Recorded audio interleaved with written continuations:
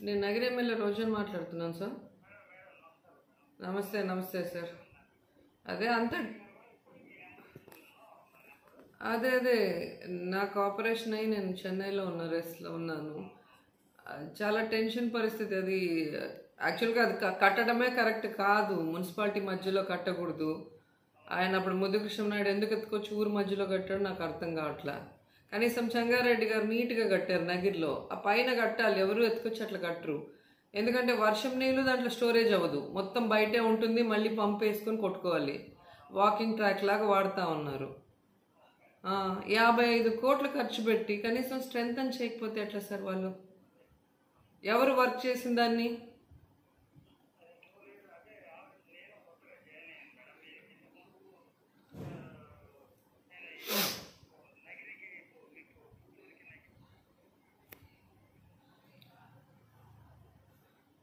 అది అది okay sir. ఇప్పుడు మీరు దాన్ని స్టడీ చేస్తుంటారు కదా.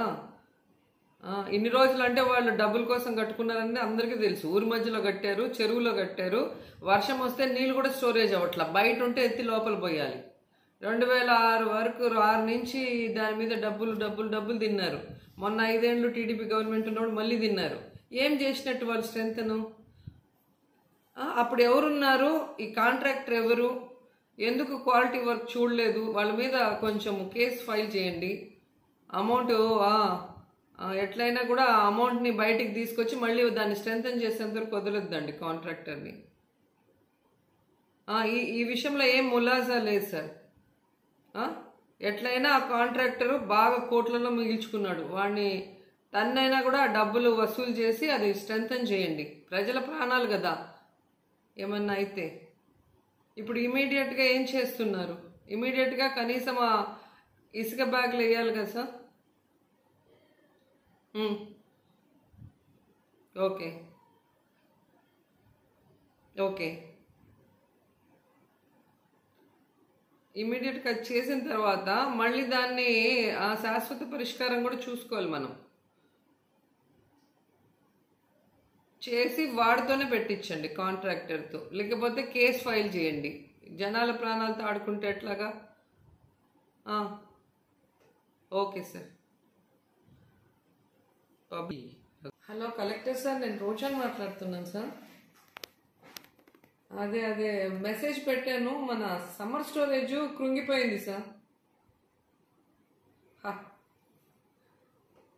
అదే అదే సార్. అది టూ థౌజండ్ సిక్స్ నుంచి కట్టారు సార్.